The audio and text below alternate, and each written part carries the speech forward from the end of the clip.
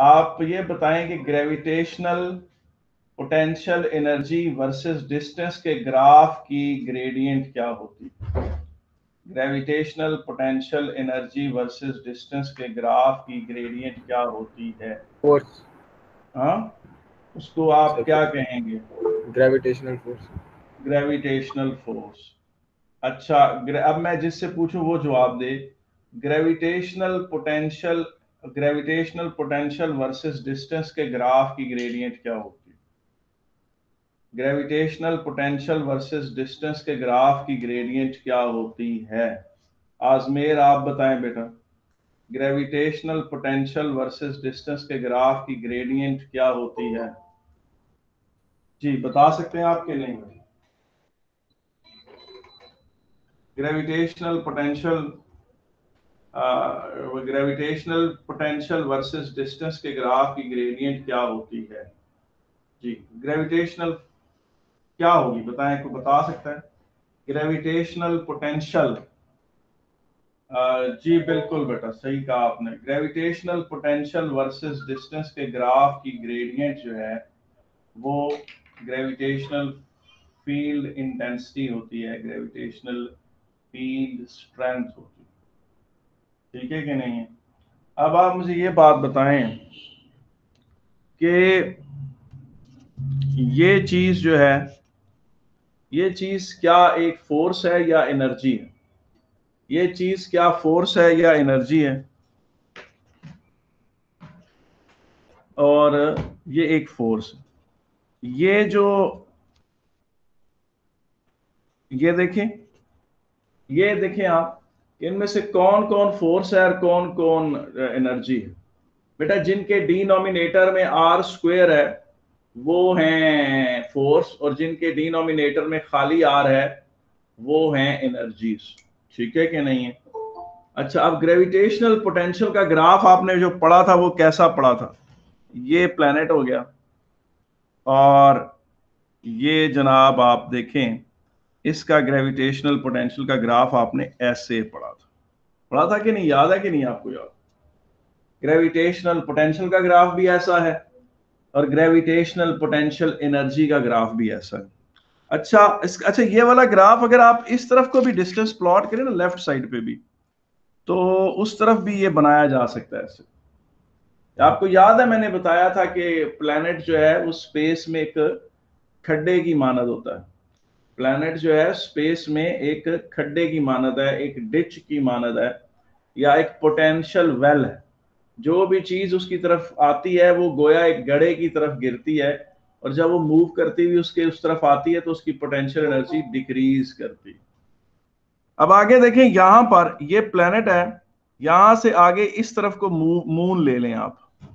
ये देखें, यहाँ मून ले लें, ये देखें। ये प्लेनेट अर्थ ले लें।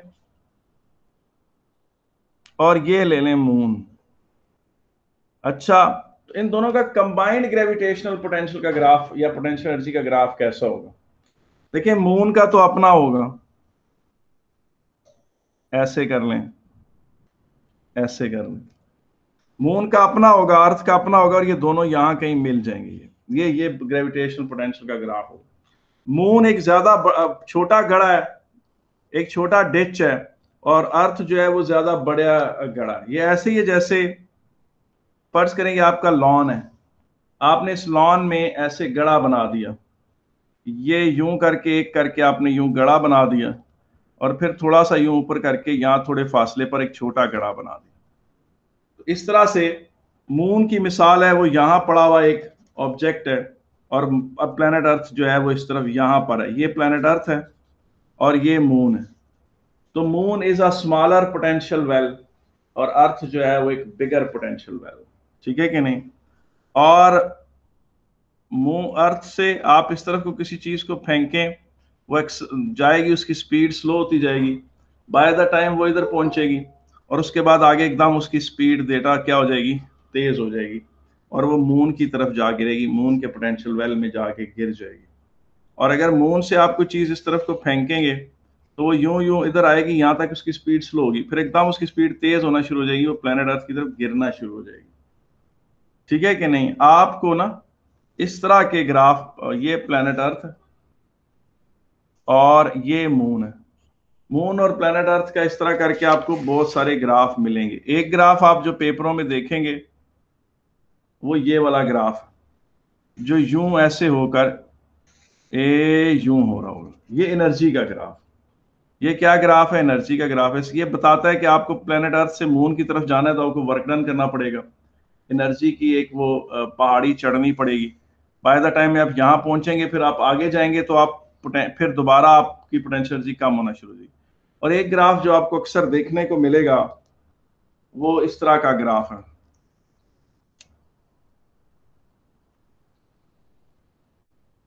जू करके। ये ग्राफ बेटा फोर्स का ग्राफ, ये बताता है कि जब वन के जी यहाँ है तो उसे प्लानट अर्थ बहुत ज़ोर से खींच रहा है। और ये वाला फोर्स हमने यूँ प्लॉट कर दी। फिर उस वन के जी को यहाँ रख दें तो प्लानट अर्थ उसे यूँ खींच रहा है तो वो फोर्स हमने यूँ प्लॉट कर दी। यहाँ पर दोनों की पुल एक दूसरे से बैलेंस हो जाती है नेट फोर्स बेटा क्या हो जाता है? ज़ीरो और इधर चले जाएँ तो मून की पुल डोमिनेंट है, उसको हमने नेगेटिव प्लॉट तो जब आपको इस तरह का ग्राफ देखने को मिले तो ये फोर्स का ग्राफ है और इस तरह का ग्राफ देखने को मिले तो ये एनर्जी का ग्राफ है। और इसकी ग्रेडियंट फोर्स ये बातें थी जो पिछले टॉपिक से रिलेटेड थी। दस बज के आठ मिनट हो चुके हैं। मैं आज अपना टॉपिक आज का शुरू कर रहा हूँ, आज का टॉपिक ठीक है कि नहीं है? और आज का जो टॉपिक है, उसके नोट्स आपको मिल गए हैं। आज के आज के नोट आज के टॉपिक के सारे नोट्स मैंने सुबह बैठ कर ये लिखे थे ये आपके सामने है, सारे नोट्स जो आ रहे हैं, ये सारे नोट्स मैंने आपको अभी सुबह व्हाट्सएप कर दिए ये सारे नोट्स आपके पास मौजूद हैं। और आज भी जिस तरह मैंने कहा था कि कायद आज़म के 14 पॉइंट्स थे, आज भी मेरे लेक्चर के 14 पॉइंट्स हैं। और मैंने उसी के ऊपर बात करनी ठीक है कि नहीं? तो वन बाय वन मैं डिस्कशन शुरू करता हूँ। सबसे पहली बात यह है कि सैटेलाइट होता क्या पहला पॉइंट ये है कि सैटेलाइट क्या चीज़ होती है?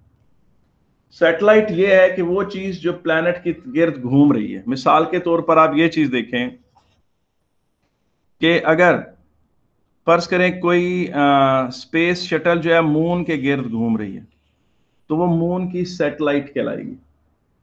और मून जो है, वो प्लेनेट अर्थ के गिर्द घूम रहा है। मून चूँकि प्लेनेट अर्थ के गिर्द घूम रहा है तो मून प्लेनेट अर्थ का नेचुरल सैटेलाइट मून जो है प्लेनेट अर्थ का क्या है? नेचुरल सैटेलाइट मून जो है, वो प्लेनेट अर्थ का नेचुरल सैटेलाइट और अर्थ जो है, वो सन की एक नेचुरल सैटेलाइट है. क्यों? क्योंकि हमने सैटेलाइट की डेफिनेशन ये बनाई है anything which rotates around the planet और star is called its satellite अब इस डेफिनेशन में, ये डेफिनेशन यहाँ लिखी हुई है। यहाँ पर देखें व्हाट इज़ सैटेलाइट ये नोट्स आपको सेंड कर दिए गए anything which rotates about the planet और star is called the satellite of the star by this definition इस डेफिनेशन के मुताबिक earth is the natural satellite of sun moon is the natural satellite of earth man made man made objects sent to rotate around the earth are called artificial satellites of earth. तो जो इंसान ने satellites बनाकर launch किए हैं planet earth के गिर्द वो सारे भी जो हैं, वो सैटेलाइट्स हैं आर्टिफिशियल सैटेलाइट्स ठीक है? अब मैं क्वेश्चन आप लोगों से क्वेश्चन ये है कि ये एक बिल्डिंग है, ठीक है कि नहीं? यहाँ पर कोई बंदा खड़ा है, और वो यहाँ से एक टेनिस बॉल को यूँ हॉरिजॉन्टली थ्रो करता है। तो वो हॉरिजॉन्टल मोशन करती हुई यूँ आकर आपको पता है प्रोजेक्टाइल पाथ फॉलो करती हुई यूँ आके गिरेगी। अगर आप ये स्पीड ज़्यादा, उसकी ज़्यादा कर देंगे तो वो और ज़्यादा दूर आकर ऐसे गिरेगी। और अगर आप और ज़्यादा तेज स्पीड करेंगे तो वो और दूर आकर ऐसे गिरेगी। उसकी ये जो हॉरिजॉन्टल डिस्टेंस है या जो रेंज है, वो आस्ता आस्ता बढ़ता जाएगा। ये बात मैंने नोट्स में लिख दी है। आपको इसको कॉपी करने की ज़रूरत नहीं है। ये यहाँ बात लिखी हुई है।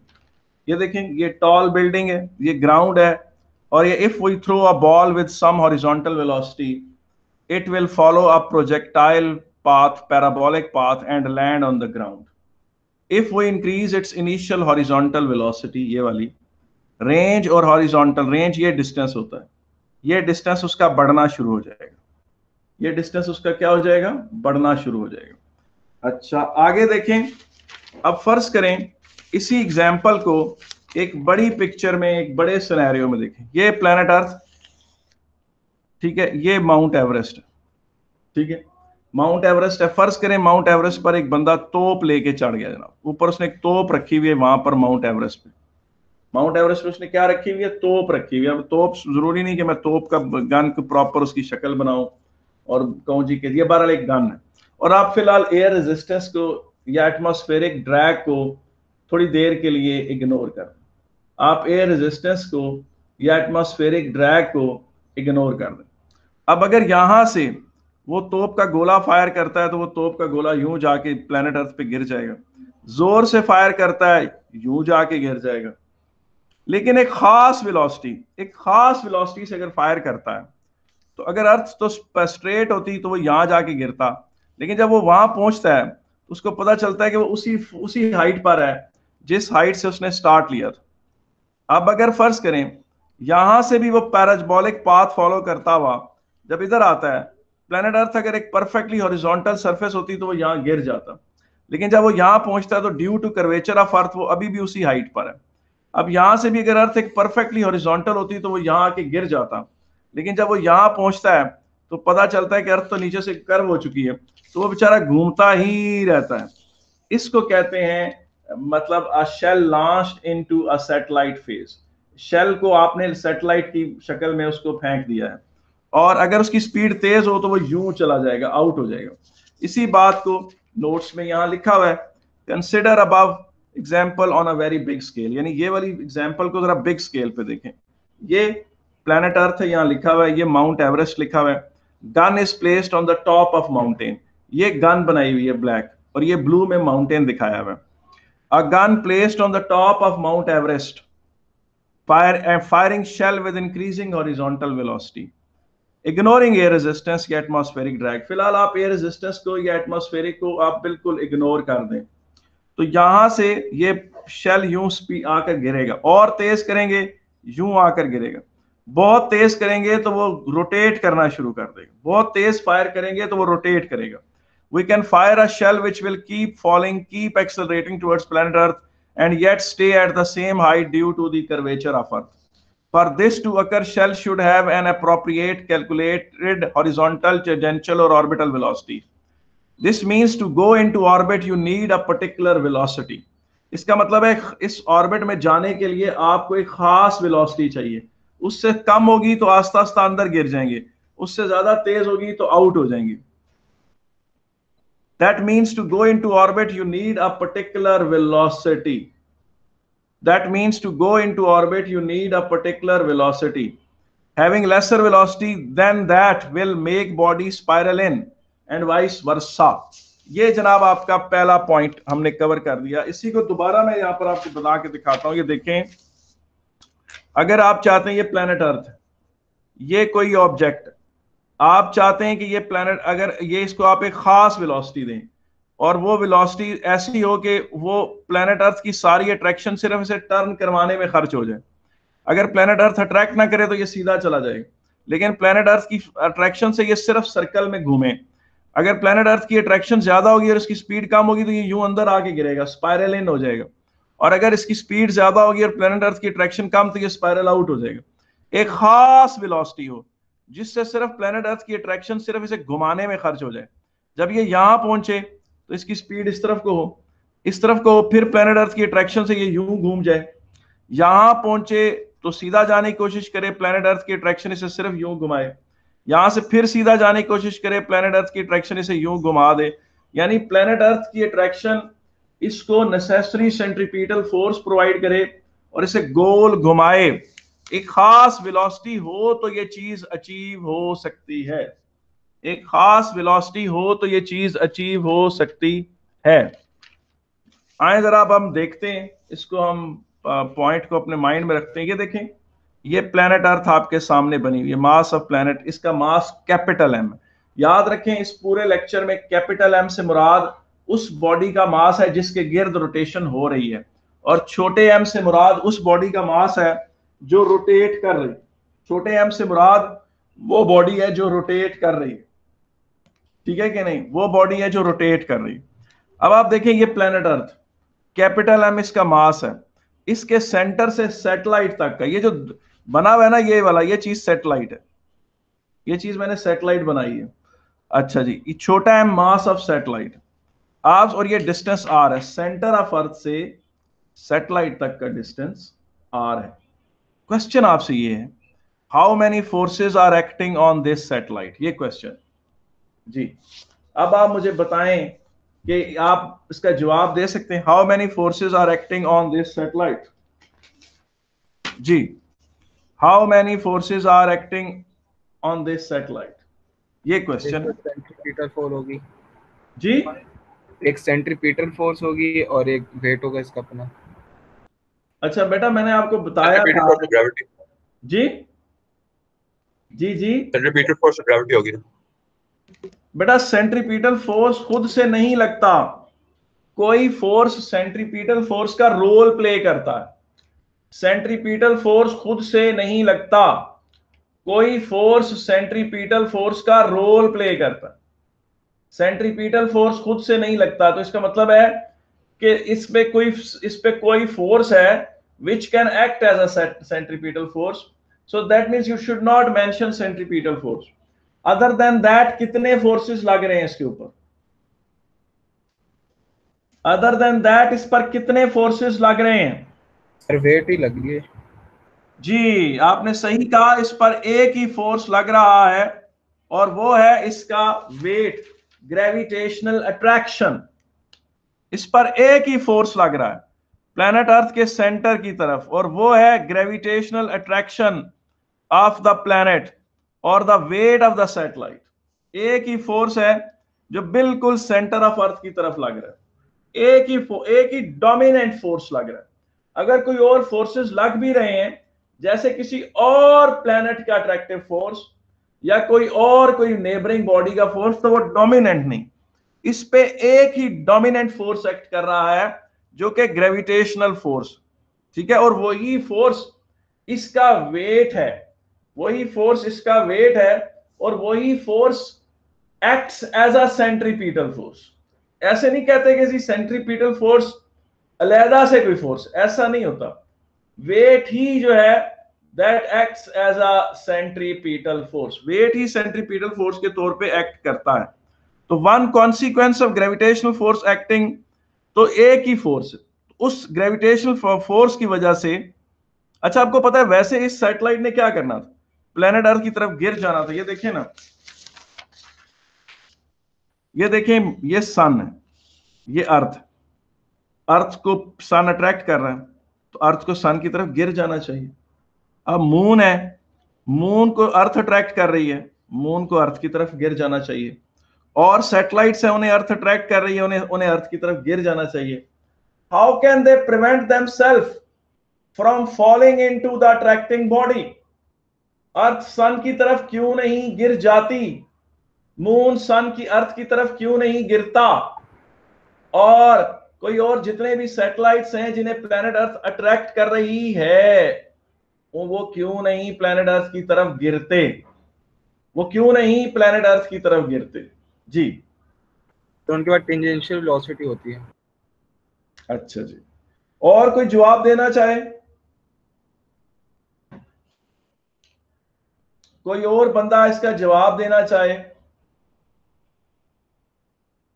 जी। कोई और बंदा इसका जवाब देना चाहे, मैं हाजिर हूँ। जी। हाउ कैन अर्थ प्रिवेंट अब देखिए, ये बात सुने। ये सन है, ये अर्थ है। सन अर्थ को खींच रहा है by a force of G M M over R square earth को चाहिए कि उसको एक खास वेलोसिटी आप इस तरफ़ की दें कि सन की सारी अट्रैक्शन उसे सिर्फ़ टर्न करवाने में खर्च हो जाए। सन की सारी अट्रैक्शन उसे सिर्फ़ टर्न करवाने में खर्च हो जाए। जब प्लेनेट अर्थ यहाँ पहुँचे, फिर सीधा जाना चाहे तो सन की अट्रैक्शन से यूँ टर्न कर ले। फिर यहाँ से फिर सीधा जाना चाहे सन की अट्रैक्शन से यूँ टर्न कर ले। फिर यहाँ से फिर सीधा जाना चाहे सन की अट्रैक्शन से यूँ टर्न कर ले। फिर यहाँ से फिर सीधा जाना चाहे सन की अट्रैक्शन से यू टर्न कर ले। फिर यहाँ से फिर सीधा जाना चाहे सन की अट्रैक्शन से यू टर्न कर ले। फिर यहाँ से फिर सीधा जाना चाहे सन की अट्रैक्शन से यू टर्न कर ले। अगर वो सन की सारी अट्रैक्शन को सिर्फ़ टर्न करवाने में खर्च करे तो वो बच सकती है from falling into burning sun तो अर्थ, पिछले 4.5 बिलियन ईयर से यही कर रही है कि वो अर्थ सन के गिर्द रोटेट करती है।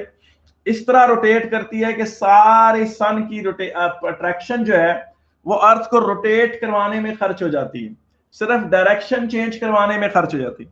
अगर अर्थ की स्पीड उस पर्टिकुलर स्पीड से ज़्यादा होती जिससे अर्थ रोटेट कर रही है, अर्थ स्पायरल आउट कर जाएगी। अर्थ स्पायरल आउट कर जाएगी।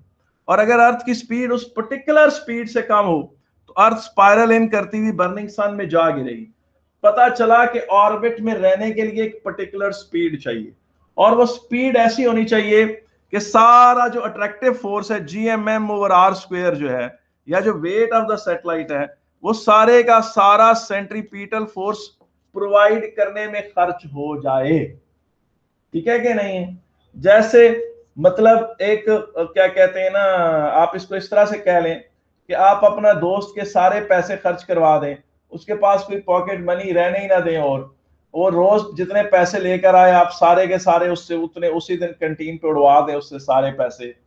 तो वो बात है कि वो चीज़ इस तरह से या एक कह लेंगे फ़र्ज़ करें खातून थी, उसको डर था कि उसका खामन जो है दूसरी शादी ना कर ले। तो वो उसके सारे पैसे जो थी ना, वो पूरे महीने की फुल अर्निंग पूरे महीने में ही खर्च करवा देती थी।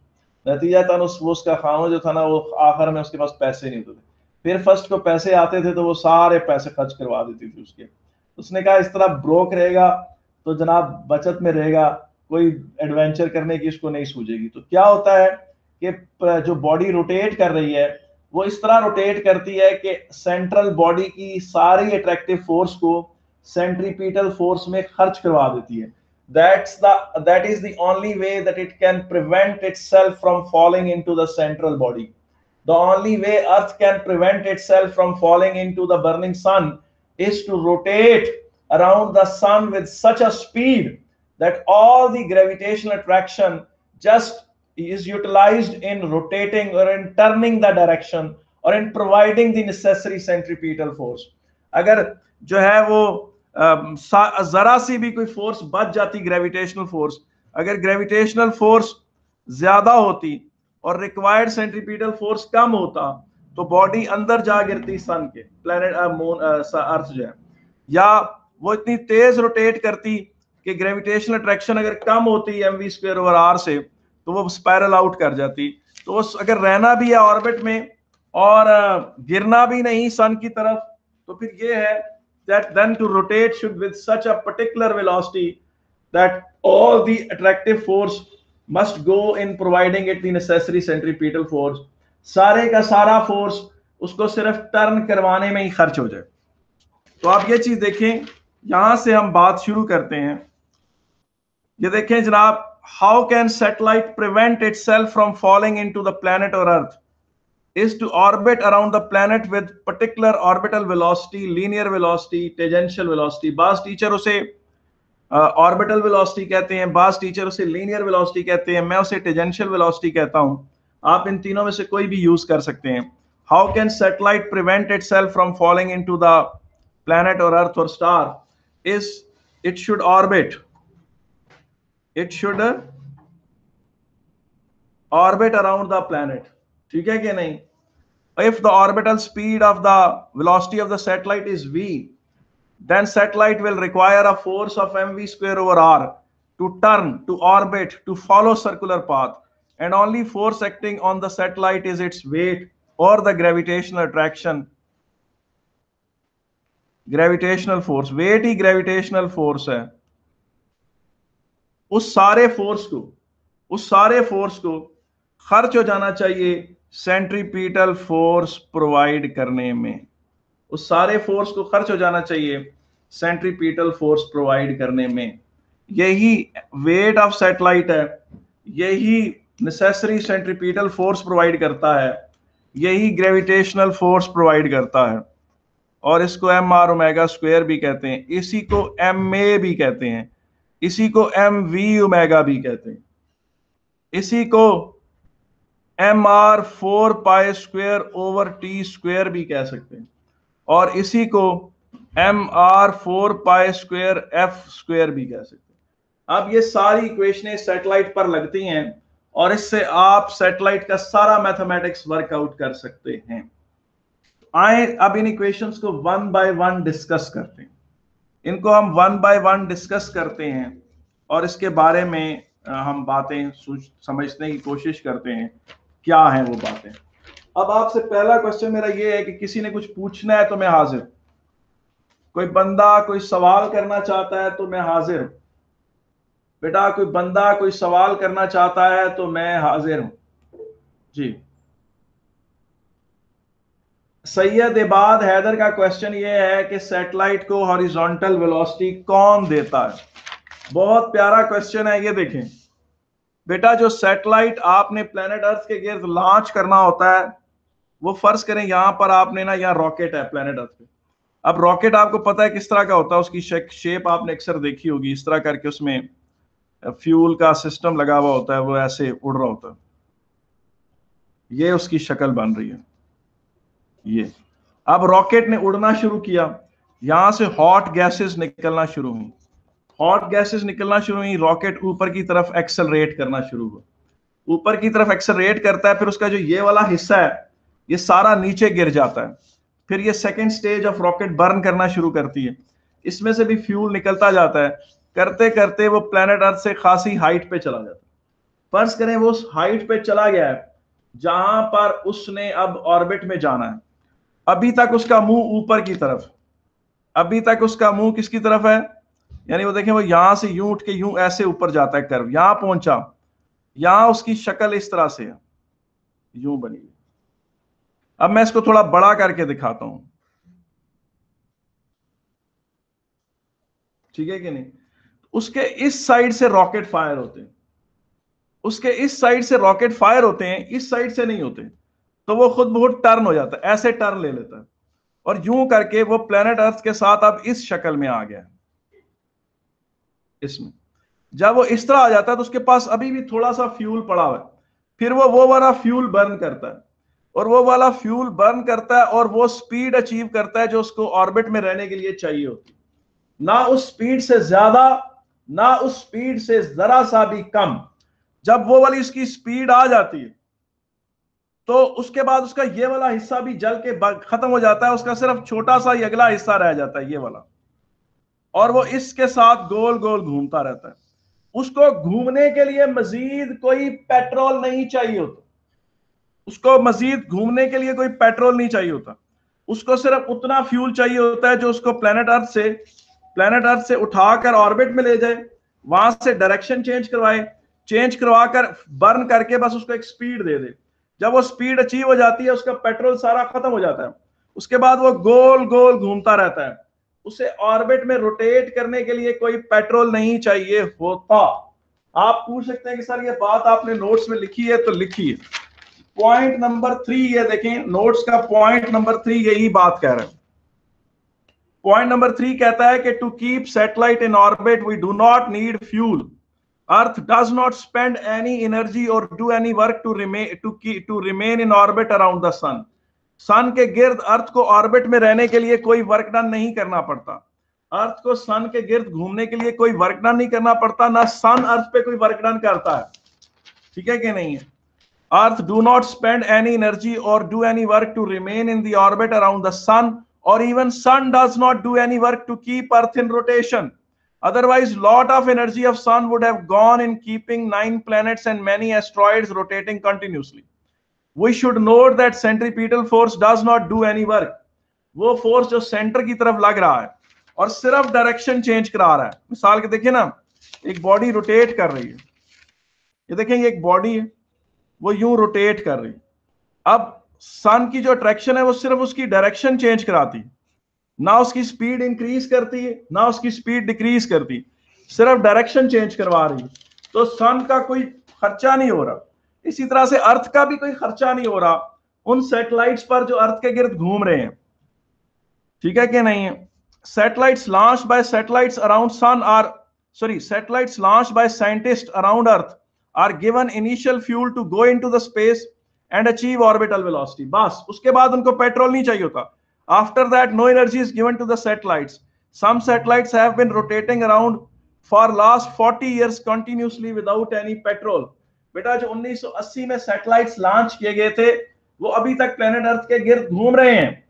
उनमें से बहुत सारे सैटेलाइट ऐसे हैं जिनका सारा इलेक्ट्रॉनिक सिस्टम डिस्ट्रॉय हो चुका है। वो कोई काम नहीं करते। वो पाकिस्तान प्लेनेट अर्थ की टेलीकम्युनिकेशन में कोई रोल नहीं प्ले करते, मगर वो सिर्फ़ ऊपर घूम ही जा रहे हैं। और चाइना ने अमेरिका को कहा था कि ये जो दो ढाई सौ बेकार सैटेलाइट्स ऊपर उड़ रहे हैं, इन्हें आप प्लीज़ आप शूट डाउन करके नीचे लाएँ। ये स्पेस डेब्रिस बढ़ रहा है। स्पेस में आपने काफ़ी ट्रैफिकिंग की हुई है प्लेनेट अर्थ के गिर्द।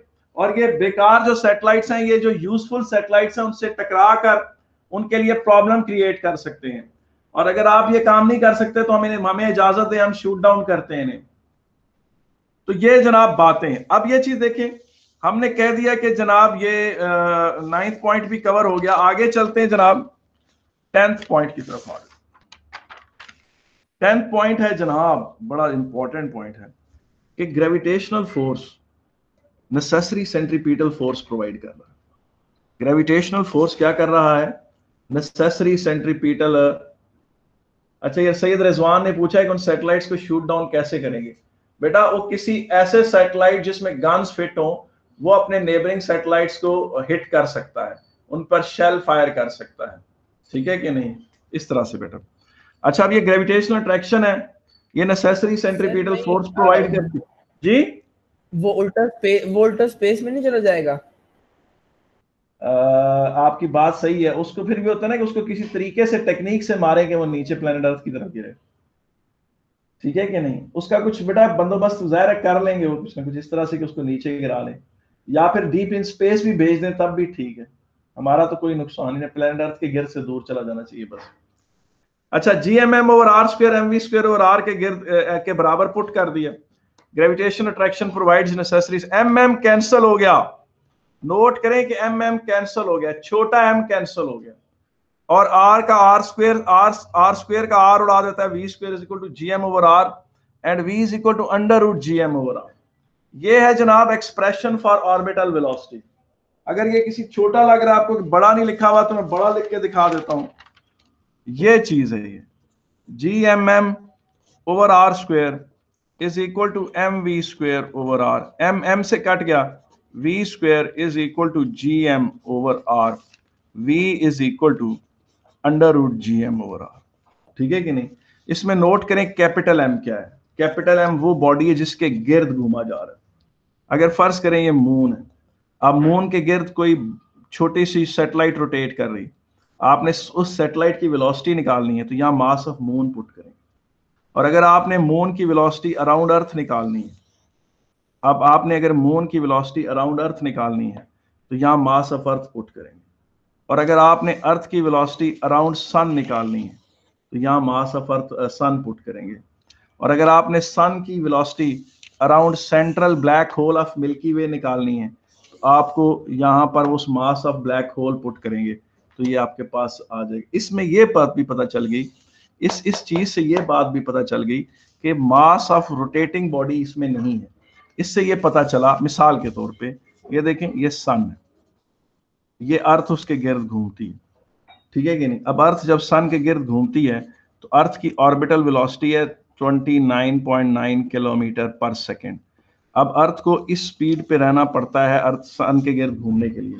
अगर अर्थ इससे ज़्यादा तेज घूमेगी तो स्पायरल आउट करेगी।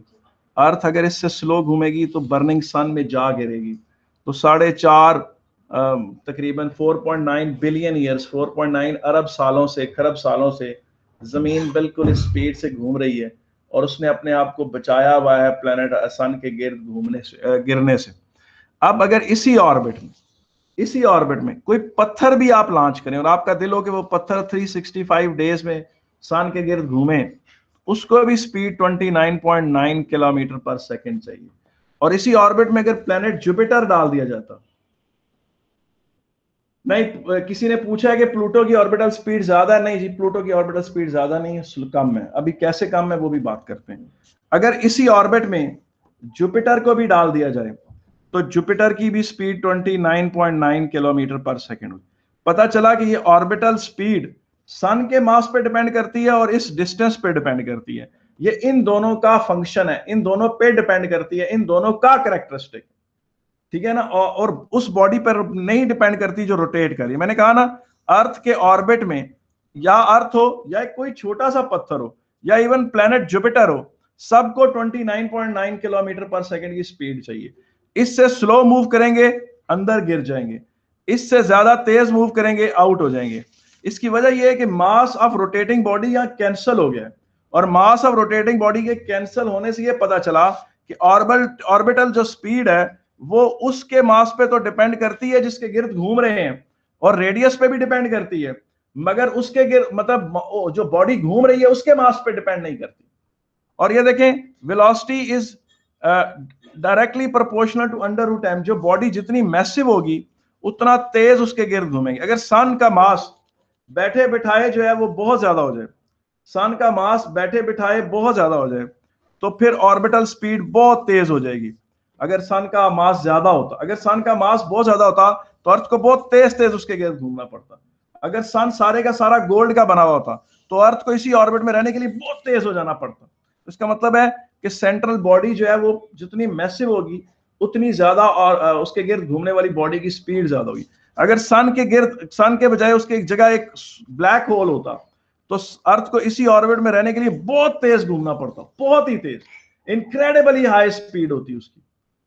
इसी तरीके से आप ये चीज़ देखें कि इसी फार्मूले में G M over R under root में v is inversely proportional to under root R इसका मतलब यह है कि जो सन के करीब मरकरी है, वो बहुत तेज घूम रहा है। वीनस स्लो है अर्थ उससे भी स्लो है मार्स उससे भी स्लो है, और प्लूटो तो ऑफ़ कोर्स फिर बहुत ही स्लो होगा। ठीक है कि इसका मतलब है सन के करीब घूमना है तो बहुत तेज घूमना पड़ेगा। और सन से दूर घूमना है तो आस्ता आस्ता घूमना है। ठीक है कि नहीं है? ये बात बड़ी इंपॉर्टेंट पॉइंट है। यही चीज़ बेटा मैंने यहाँ पॉइंट नंबर टेन में भी लिखी है सारी। कि G M M over R square V square G M over R और V under root G M के बराबर है। और V is equal to gm over r है। M is the mass of body about which the rotation is taking place यहाँ लिखा है कि velocity is directly proportional to under root m, जिसका मास सेंट्रल बॉडी का मास ज़्यादा होगा। तो आपको तेज घूमना पड़ेगा। फिर इसी में यही बताया गया कि मून के गिर्द अगर कोई कोई सैटेलाइट रोटेट कर रहा है तो इस इक्वेशन में मास ऑफ़ मून होगा। और अगर मून की वेलोसिटी अराउंड अर्थ निकालनी है तो यहाँ मास ऑफ़ अर्थ पुट करेंगे। और अगर अर्थ की वेलोसिटी अराउंड सन निकालनी है तो यहाँ mass of earth sun put करेंगे। और अगर सन की velocity around the central black hole of the milky way निकालनी है तो यहाँ mass of that black hole put करेंगे। और orbital velocity is independent of the mass of rotating body ये बात मैंने अभी बता दी। मैंने बताया कि प्लेनेट अर्थ जो है सन के गिर्द 29.9 किलोमीटर पर सेकंड से रोटेट करती है। अगर कोई पत्थर भी इस ऑर्बिट में रखा जाए और आपका दिल हो कि वो सन के गिर्द घूमे, ना अंदर गिरे, ना स्पाइरल आउट हो तो उसको 29.9 किलोमीटर पर सेकंड चाहिए। इसी ऑर्बिट में अगर आपने जुपिटर को रखना है तो वो भी 29.9 किलोमीटर पर सेकंड से रोटेट करेगा। अब आगे आ जाए जनाब। इस चैप्टर में बाज चीज़ें धोखा देती हैं, बड़ी करीब करीब एक जैसी होती हैं तो बंदा धोखा खा जाता है। मिसाल के तौर पर मैंने आपको बताया था कि इस चैप्टर में छोटे जी और कैपिटल जी के फ़र्क को जहन में रखिएगा कि कैपिटल जी कुछ और है और छोटा जी कुछ और है। Capital G universal gravitational constant है और छोटा जी जो है वो ग्रेविटेशनल फ़ील्ड इंटेंसिटी है। ये वन पूरे प्लेनेट और वन के के दरमियान फोर्स ऑफ़ अट्रैक्शन है। और कैपिटल जी दो, वन वन के G placed one metre apart के दरमियान फोर्स ऑफ़ अट्रैक्शन है। बिल्कुल इसी तरीके से, आप मुझे एक बात बताएँ, आपने एक चीज़ पढ़ी थी एस्केप स्पीड एस्केप स्पीड क्या थी? कि आप एक बॉडी को यहाँ से फेंकें और वो दोबारा कभी प्लेनेट अर्थ की तरफ़ ना आए। तो आपको पता है, यहाँ पर ग्रेविटेशनल पोटेंशियल एनर्जी क्या थी? Minus G M M over R infinity पे क्या थी? ज़ीरो यहाँ से यहाँ ले जाने के लिए कितना वर्क डन करना पड़ता? Zero minus minus G M M over R ये बन गया G M M over R इसको और यहाँ से आप एनफ कैनेटिक एनर्जी दे दें। इग्नोर करें ये रेजिस्टेंस को, या एटमोस्फेरिक ड्रैग को। तो वो जब आपने एम एम कैंसिल हुआ तो वो जो वेलोसिटी निकाली थी, वो देखें, वो क्या थी? वो ये वेलोसिटी ये एस्केप स्पीड और आज आपने पढ़ी है ऑर्बिटल स्पीड वो देखें दोनों कितनी मिलती जुलती हैं। दोनों की शक्लें एक हैं। मगर याद रखें कि ऑर्बिटल वेलोसिटी जो है, उसमें क्या है? उसमें जी एम ओवर आर उसमें G M over R escape speed में क्या है? उसमें एक छोटा सा फ़र्क है टू का फ़र्क है। Two G M over under root R ये फ़र्क है। आप पूछे सर, आपने ये बात नोट्स में लिखी है तो जी लिखी पॉइंट नंबर अलेवन ये आपको बता रहा है कि ऑर्बिटल वेलोसिटी ये है, पहली। नोट्स में आप लिख लीजिएगा ऐड कर लीजिएगा कि ये ऑर्बिटल वेलोसिटी और एस्केप स्पीड क्या है? ये। एस्केप स्पीड क्या है? या एस्केप वेलोसिटी ये है। टू का फ़र्क है। ठीक है ना? अच्छा सैयद अबाद हैदर ने बड़ा ज़बरदस्त क्वेश्चन पूछा है। और क्वेश्चन ये है उसका कि जनाब, ये प्लेनेट अर्थ है और इसके गिर्द एक सैटेलाइट रोटेट कर रहे हैं। इस सैटेलाइट में जरा सा भी अगर कोई एक्सप्लोजन हो और उस एक्सप्लोजन के नतीजे में उसकी स्पीड तेज हो जाए तो क्या होगा? बेटा क्वाइट पॉसिबल के स्पीड तेज होने के नतीजे में वो एक बड़े ऑर्बिट में चला जाए या क्वाइट पॉसिबल के वो स्पायरल आउट करके बाहर निकल जाए। दोनों सूरतें पॉसिबल है। स्लाइट इंक्रीज करने से उसका ऑर्बिट बड़ा हो सकता है सर्कुलर के बजाय हेलिकल हो सकता है। मिसाल के तौर पे, पहले वो यूँ यूँ घूम रहा था इस जगह पर एक्सप्लोजन हुआ स्पीड बढ़ गई तो वो यूँ यूँ घूमना शुरू हो गया। ये भी पॉसिबिलिटी है और ये भी पॉसिबिलिटी है कि वो आउट ही निकल जाए। ये जवाब है आपके क्वेश्चन का। अभी यार ये बात आपको समझ में आ गई कि स्केप स्पीड और ऑर्बिटल स्पीड में फ़र्क सिर्फ़ इस छोटे से टू का है। एक ऑर्बिटल स्पीड में G M over R under root है और एस्केप स्पीड में two G M over R under root ये बात यहाँ नोट्स में लिखी हुई है, लेकिन सिर्फ़ साथ यहाँ मैंने नोट्स में ऑर्बिटल वेलोसिटी और नीचे स्केप स्पीड नहीं लिखा। जिसका नाम पहले है, उसका फार्मूला पहले लिखा है नोट्स में, और जिसका नाम बाद में है, उसका फार्मूला बाद में। सिर्फ़ एक टू का फ़र्क है। तो इसलिए कंफ्यूज ना करना कि एस्केप स्पीड क्या होती है। एस्केप स्पीड वो होती है कि आपने एक चीज़ को फेंका है प्लेनेट से, और दोबारा कभी वो आई नहीं, वापस दूर चलेगी। और ऑर्बिटल स्पीड क्या है, जिससे आप प्लेनेट के गिर्द घूम रहे हैं। ऑर्बिटल स्पीड है G M R under root और एस्केप स्पीड क्या है two G M over R under root इससे यह भी पता चल गया कि ऑर्बिटल स्पीड को अगर जरा सा ज़्यादा कर दें तो आप प्लेनेट अर्थ की, की ग्रेविटेशनल पुल से दूर चले जाएँगे। आप ग्रेविटेशनल पुल से क्या चले जाएँगे? दूर चले जाएँगे। आए जनाब पॉइंट नंबर ट्वेल्व पर आ जाए बेटा। पॉइंट नंबर ट्वेल्व है कैपलर्स लॉ बेटा मैंने आपको बताया था कि आज मेरे जो टॉपिक है वो सिर्फ़ चौदह पॉइंट्स पर मोहित है। और उन चौदह पॉइंट्स के बारे में मैं बात कर रहा हूँ। तो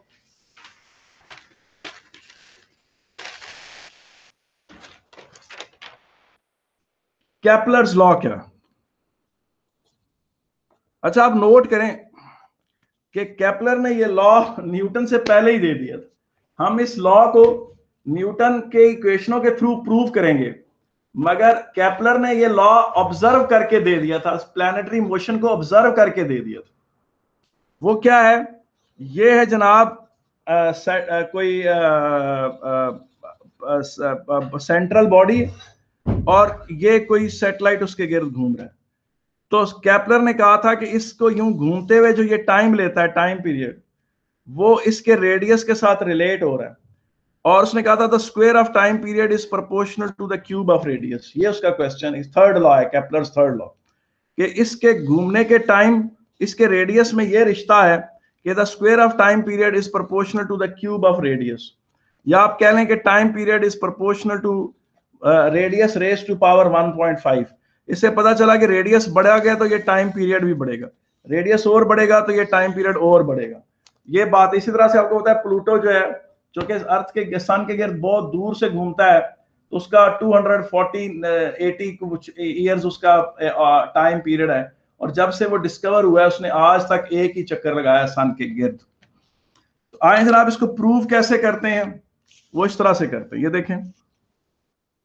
G M M over R square ये है जी नेसेसरी ग्रेविटेशनल फोर्स जो प्रोवाइड कर रहा है necessary centripetal force M M से कैंसिल हो गया और आर ने इसका स्क्वायर उड़ा दिया। तो वी स्क्वायर किसके बराबर है? जी एम ओवर आर के। आपको पता है टाइम पीरियड किसी, ये चीज़ सरकम किसके बराबर है? सरकम बराबर है टू पाई आर के। और सरकम को वेलोसिटी से डिवाइड करें तो क्या आ जाता है? टाइम पीरियड आ जाता है। आपको ना टाइम बराबर है डिस्टेंस और वेलोसिटी के। तो डिस्टेंस की जगह आपने पुट कर दिया टू पाई आर और वेलोसिटी की जगह ये रहने दिया तो ये आपके पास टाइम पीरियड आ गया। इसे आप स्क्वेयर करें। अब वी स्क्वेयर की जगह जीएम ओवर आर डाल दें।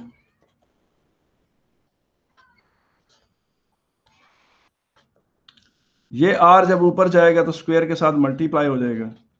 और ये आपके पास कैपलर्स लॉ प्रूव हो गया। इसमें यह चीज़ कांस्टेंट है।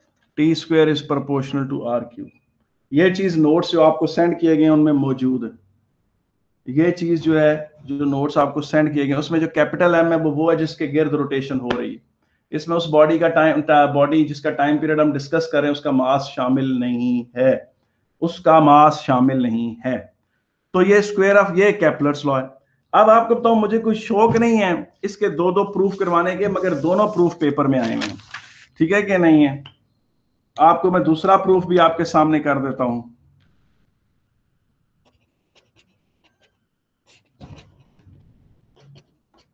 इसके बराबर पुट कर दें। अच्छा बेटा दोबारा डेरिवेशन दोबारा इस तरह से, ये देखें। Gravitational force provides the necessary centripetal force चले, मैं इधर नीट करके दोबारा कर देता हूँ।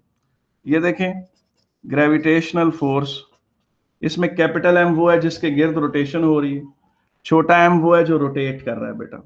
ये चीज़ है जिसके गिर्द रोटेशन हो रही है और ये छोटा एम उसके गिर्द रोटेट कर रहा है। ठीक है, और याद रखें कि छोटे एम नहीं, बड़े एम के गिर्द रोटेट करना है, क्योंकि इनके दरमियान जो फोर्स ऑफ़ अट्रैक्शन है वो इस छोटे एम के लिए तो डोमिनेंट है, बड़े के लिए इतना इंपॉर्टेंट नहीं है। अब G M M over R square को M V square over R के बराबर पुट कर दें। ये एम इस एम के साथ कट गया, इस आर ने इसका स्क्वेयर उड़ा दिया। तो वी स्क्वेयर किसके बराबर है? जी एम ओवर आर के। अब आपको पता है टाइम पीरियड किसके बराबर होता है? टाइम पीरियड यहाँ से यहाँ जाने का टाइम है। अब ये टोटल डिस्टेंस किसके बराबर है? टू पाई आर के।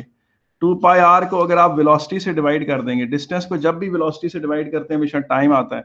इस डिस्टेंस को जब वेलोसिटी से डिवाइड करेंगे तो इसका टाइम आएगा और इसका टाइम टाइम पीरियड कहलाता है।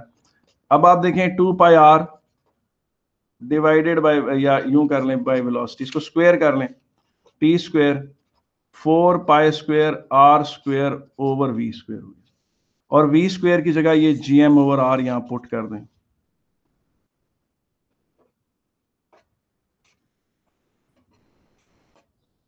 आर और ये आर जो है, जब ये ऊपर जाएगा तो ये क्या करेगा? आर क्यूब बनाएगा और जी एम बनाएगा। इसमें देखें, ये जो सारा हिस्सा है, ये वाला हिस्सा, ये कांस्टेंट है।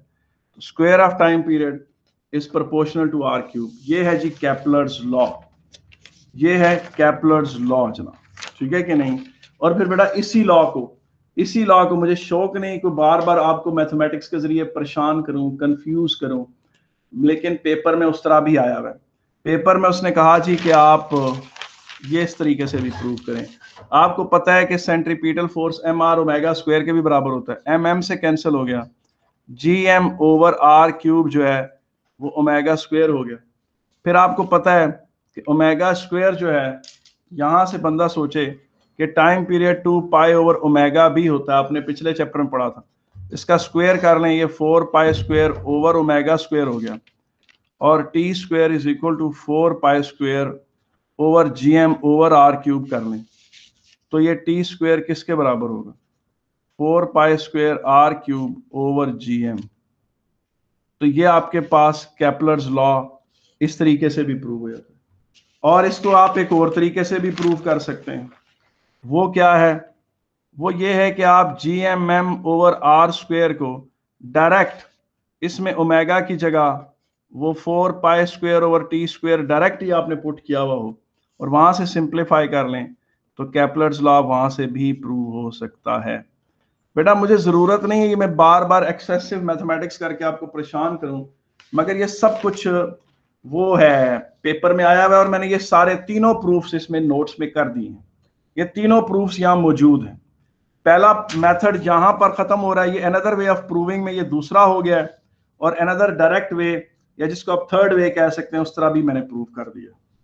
अब जो कैम्ब्रिज में बहुत ज़्यादा क्वेश्चन आते हैं, वो भी मैं आपको बताना चाहता हूँ, वो क्या है? वो ये है कि ये सेटेलाइट है सॉरी प्लेनेट है, इसके गिर्द ये एक सेटेलाइट रोटेट कर रहा है, और ये रेडियस आर वन है, इसका टाइम टी वन है।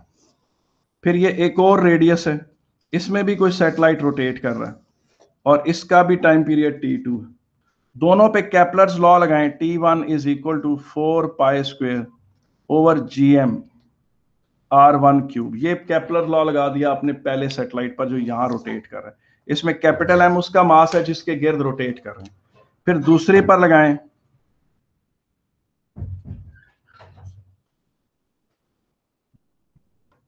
ये। अब इसको इससे डिवाइड करें।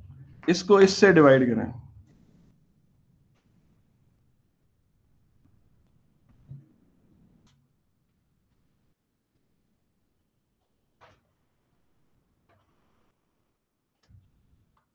ठीक इस तो ये चीज़ इस चीज़ से कट जाएगी। और T one square over T two square is equal to R one cube over R two cube आप कहेंगे, सर, इस इक्वेशन का फार्म, फ़ायदा क्या है? बेटा, ये कैम्ब्रिज के पास पेपर्स के न्यूमेरिकल्स में बहुत ज़्यादा इस्तेमाल हुई है। वो कहते हैं, जनाब, के सेटरन का ये मून जो है, ये टाइम पीरियड रखता है। तो सेटरन के इस मून का टाइम पीरियड निकालें। दोनों का रेडियस दिया हुआ होता है। या अक्सर वो कहते हैं कि यहाँ पर इस सेटेलाइट इस स्टार के गिर्द या इस प्लेनेट के गिर्द ये एक सेटेलाइट मूव कर रहा है, ये दूसरा सेटेलाइट मूव कर रहा है। और वो कहते हैं इसका टाइम पीरियड और रेडियस दोनों दिए हुए होते हैं। इसका खाली रेडियस दिया हुआ होता है और इसका टाइम पीरियड मांगा गया होता है।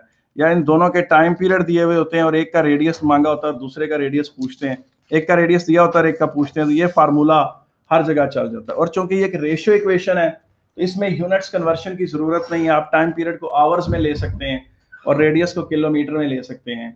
चाहे तो दोनों के रेडियस को माइल्स में ले लें और दोनों के टाइम पीरियड्स को आवर्स में या डेज़ में या मंथ्स में ले सकते हैं, क्योंकि ये एक रेशियो इक्वेशन है।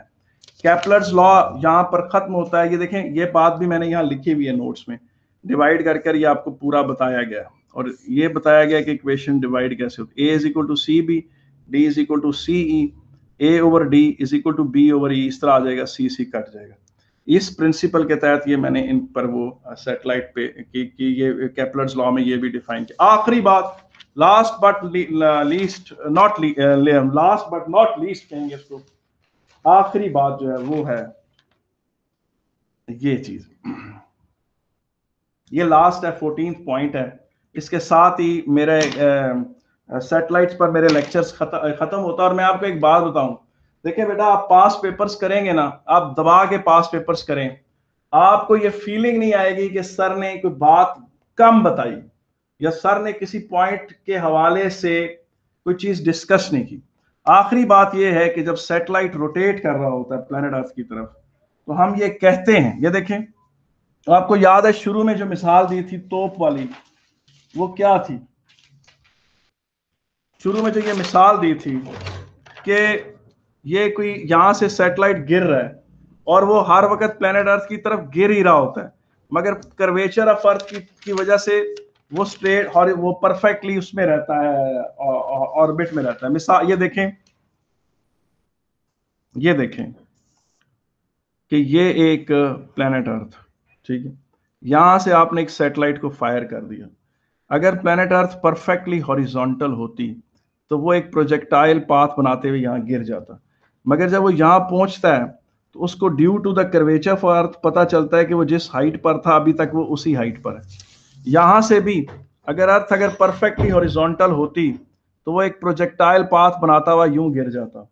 मगर जब वो यहाँ पहुँचता है तो due to the curvature of earth उसे पता चलता है वो अभी तक उसी हाइट पर है। और इसका मतलब है जो सैटेलाइट प्लेनेट अर्थ की तरफ़ रोटेट कर रहा है, उसके बारे में ये लफज कहे जा सकते हैं कि as it is falling it is rotating it is falling with an acceleration G तो हम कहते हैं कि when a satellite is rotating हम कहते हैं satellite is falling towards planet with an acceleration due to gravity centripetal acceleration of satellite is equal to the acceleration of free fall हमें कैसे पता चला? सैटेलाइट का वेट एम जी को M V square over R के बराबर put करें। M M cancel हो गया तो G is equal to V square over R और V square over R centripetal acceleration है। तो centripetal acceleration of satellite is equal to the value of G तो हम कह सकते हैं कि सैटेलाइट जो है, वो प्लेनेट अर्थ की तरफ़ एक्सलरेट कर रहा है विद एन एक्सेलरेशन जी और वो is in the state of free fall वो किसमें है? वो is in the state of free fall में. ठीक है कि नहीं? और उसके बाद फिर हमने centripetal acceleration sorry orbital velocity को in terms of acceleration due to gravity भी एक्सप्रेस किया। इसे आप देख लीजिएगा। अगर कोई मसला हो तो आप मुझसे पूछ सकते हैं। बेटा जी, यहाँ पर मैं क्लास को एंड कर रहा हूँ और अब आपने इन 14 पॉइंट्स को देखना है और इसके बाद आपने मुझसे जो है क्वेश्चंस पूछने हैं। यहाँ पर सेटेलाइट्स खत्म हो रहे हैं।